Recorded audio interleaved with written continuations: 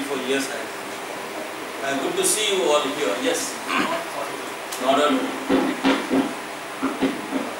Caller, caller, caller, caller, caller. Is it okay? Caller, caller, put it on your caller.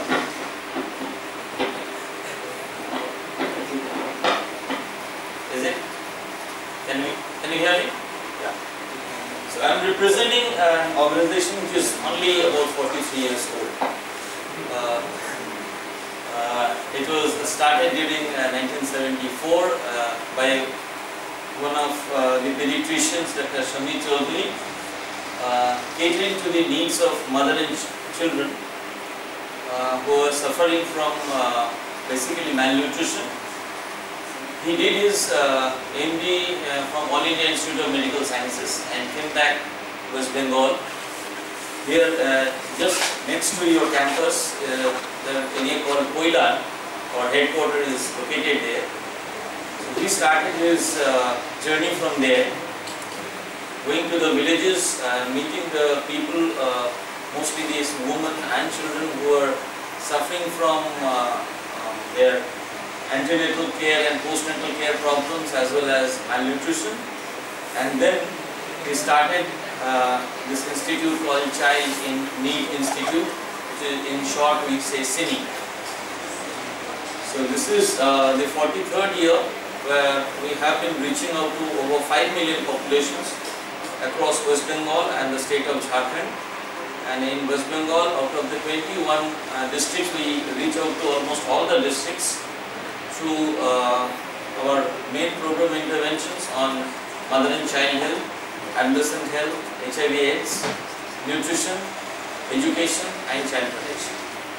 And we have about uh, 1200 uh, employees together in our organization, starting from uh, the senior management to the ground.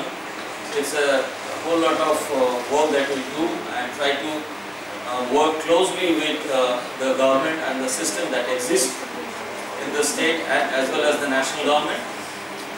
So before I get into the details of the discussion, I'd like to show you one video which will give you an understanding of uh, what CINI does and how. Uh, it's only about 7 pages.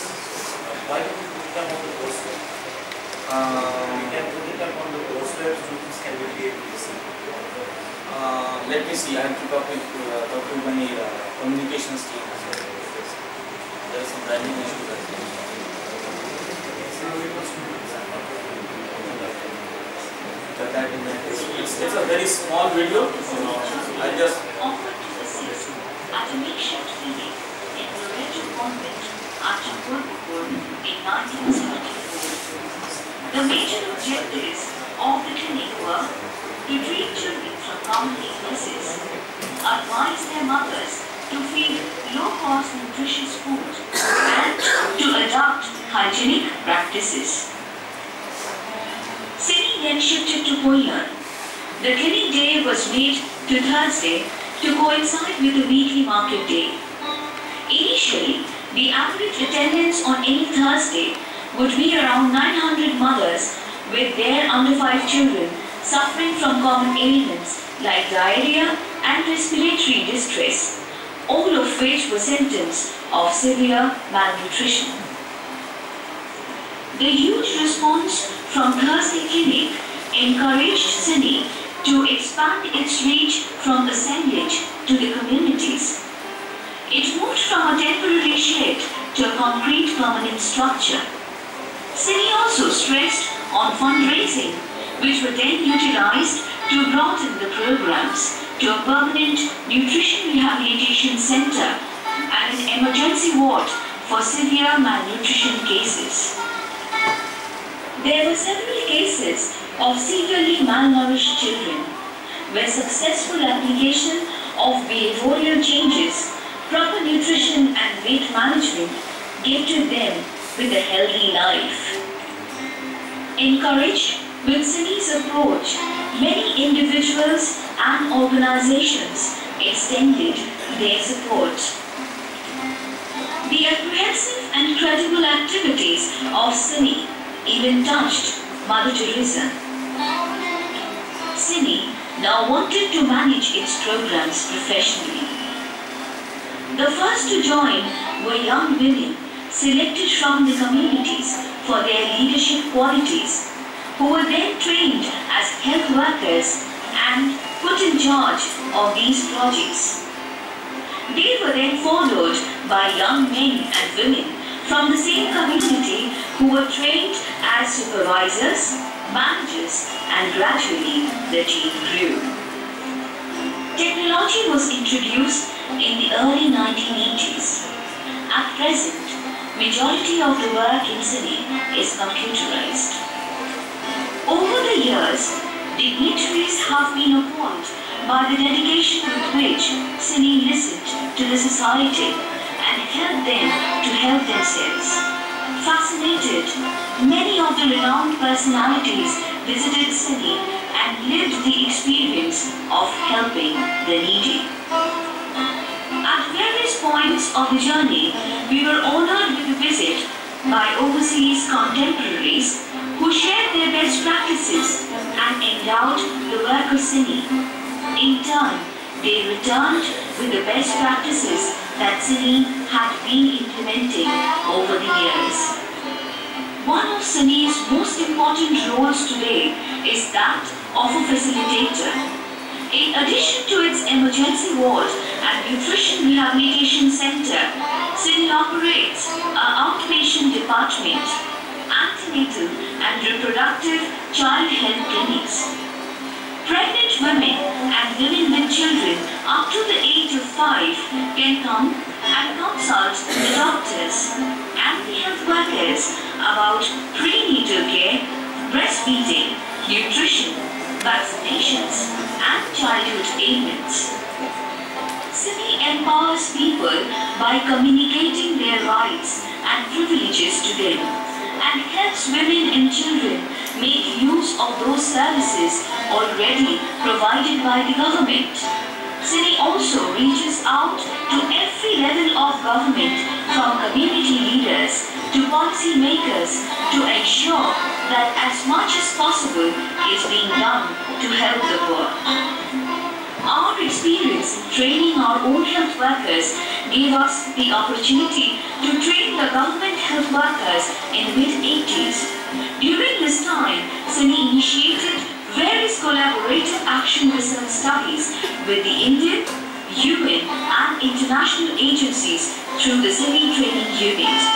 Today it caters to over 2,000 trainees every year from different fields of rural communities for their capacity building activities. CINI has been officially recognized both in India and abroad as a leading authority on mother and child nutrition, healthcare and education. Out of the many accolades, CINI received the National Award for Child Welfare twice, once in 1985 and then in 2004. Throughout the journey, CINI had received the appreciation and generosity from prominent individuals of the society.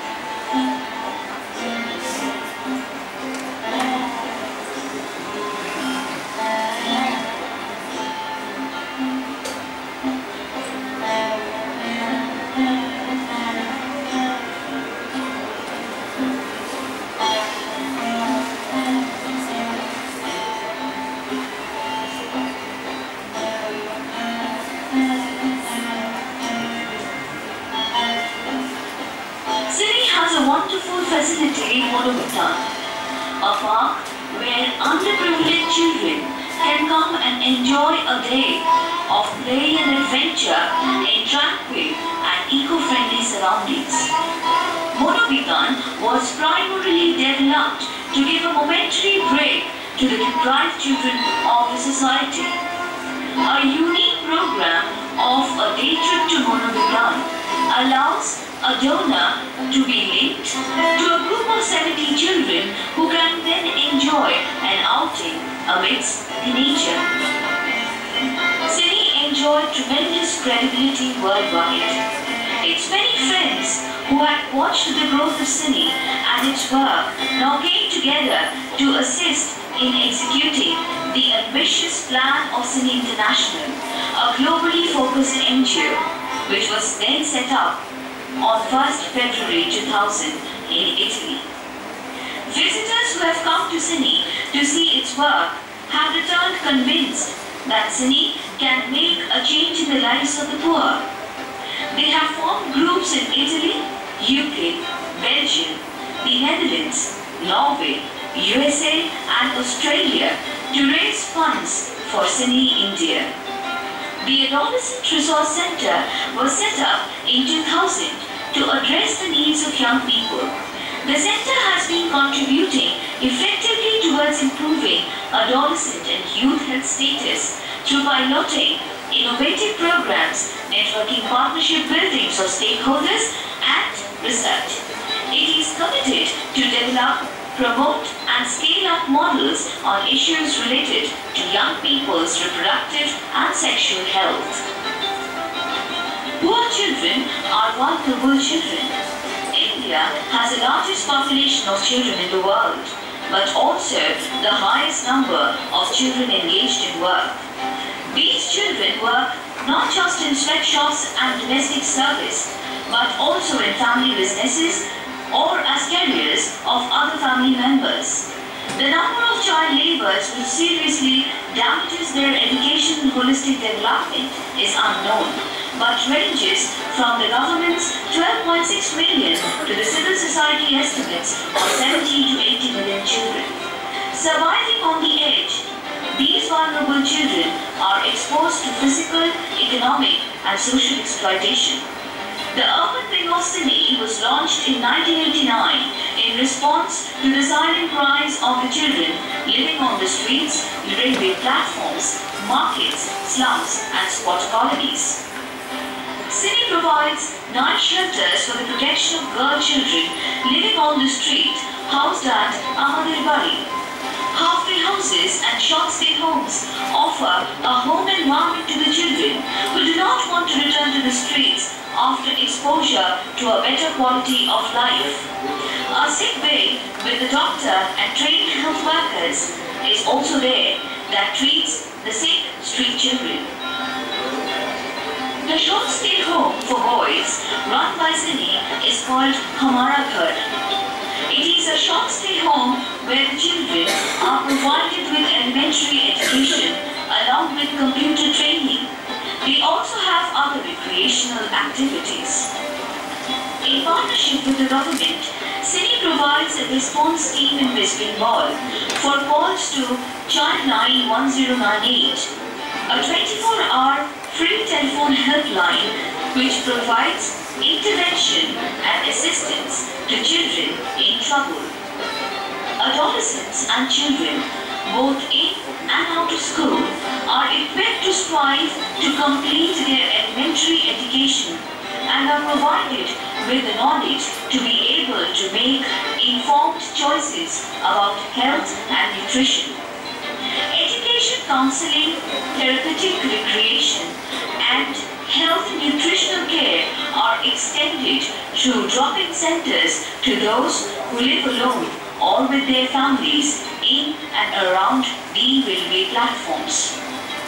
CINI works to identify children who are either not in mainstream education or are in danger of leaving it. It offers bridging courses to enable children who are outside the education system to return to it. Using a network of key workers and counselors who are linked to schools and government, CINI works in local communities to convince families that the benefit of education will, in the long term, outweigh the benefit of the low and temporary wage which a child may earn instead of going to school. Also works to overcome forms of social exclusion such as caste and gender discrimination which continue to play a part in keeping children, particularly girls, out of school. CINI through years of experience observed that in its area of operation, the population is vulnerable in terms of socio-economic, demographic, education, sanitation, and maternal and child health indicators. CINI implement projects which facilitate convergence of three stakeholder groups, community, local governance, and service providers for the increased accessibility and utilization of existing services, thereby establishing child and women-friendly communities. Close contacts with all levels of government ensure that CINI is exceptionally well placed to offer relief when disaster strikes. The emergencies in which CINI has worked are Bhuj earthquake, the tsunami, Kashmir earthquake, Aila in West Bengal, flooding in Murshidabad, Bihar and Uttar Dinajpur in recent times. CINI has also been working with communities to prepare them for emergencies.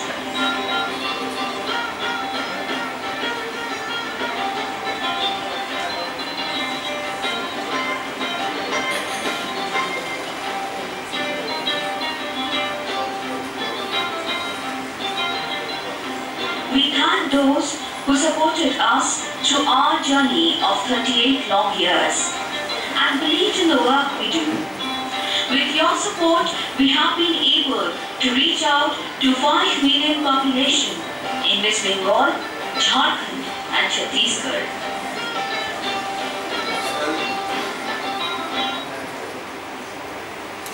Thank you.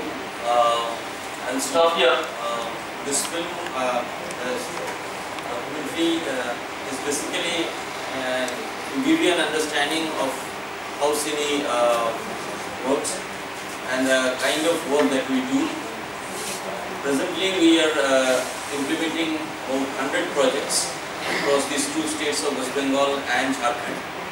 And these projects are uh, focused on uh, creating a society that's basically friendly towards children. So we call it a child-friendly communities where all services and entitlements of the children are ensured by the service providers, that is the government, and at the local level is the uh, panchayat system, which is the lowest strata of the administration.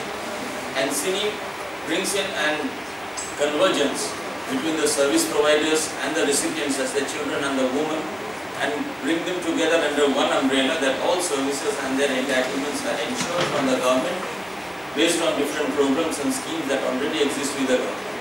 We have some services particularly for those children who are into difficult circumstances, maybe at the railway stations, on the streets, or who have been missing or run away or a victim of trafficking, for in mostly in urban locations and in uh, North Bengal.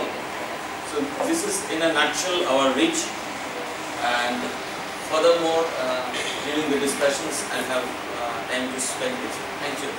Thank you very much.